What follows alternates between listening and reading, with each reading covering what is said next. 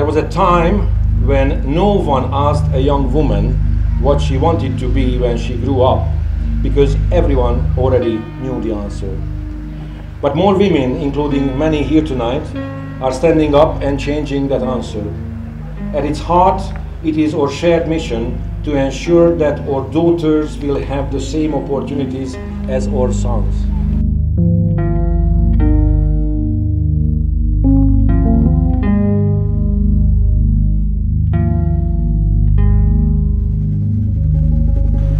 As we mark International Women's Day, it is important to remember that equal rights is not just a fight for women. All of us, men included, need to stand in solidarity with our mothers, sisters, daughters, and friends to say that discrimination in all shapes and forms will not be tolerated.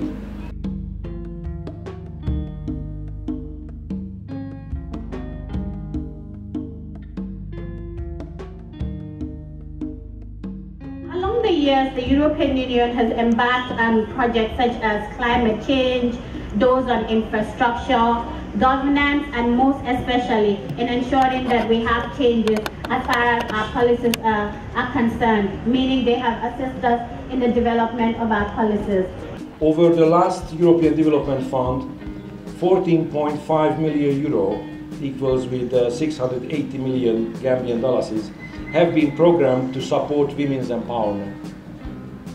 Projects go from improving women's access to markets in rural areas to sell their produce, training health staff on the impact of FGM, setting up and supporting women marketing federations, improving nutrition and care practices for women with young children, supporting the Gambia's Technical Training Institute, where the first female taxi driver is training to become a mechanic, or a new project where women now lead their communities as alcalos and members of district tribunals, and many more.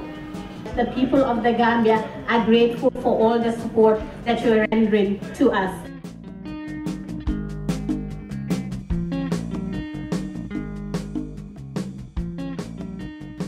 We simply cannot afford to leave women out. We have to be bold enough. The National Assembly elections are coming. How many young women are ready to go and sit there to ensure that policies that are in comfort with women are put in place? I'm challenging the young girls and ladies. She spends every phase of her life stitching her loud, painful memories into a fabric to clothe her, strangling her developed hate into her smile, every thought of her existence seeping pain down her soul, disgust displaying itself on her tainted mind, flashes of her struggle pushing down boiling tears, and as they land on her cold cheeks, she feels the slice again. She feels culture journeying itself between her thighs, burning her innocence erupting from her purity, hailing to her womanhood, while she sobbed in pain. What will it take? Haven't we fought enough, toiled enough, cried enough? Haven't we taken it all enough? The names, the insulting generalizations, the filth, the public disgrace, the ingratitude. Aren't we tired? So from today onwards, I choose to fight. I choose to be strong. I choose to be black. I choose to be feminist. I choose to be woman. I choose to be soft. I choose to be me. Because at the end of it all, that is all I can be and everything that I should be. So until you find another generic tag for me and all of my sisters around the world, I am queen. I am divinity exemplified. I am woman.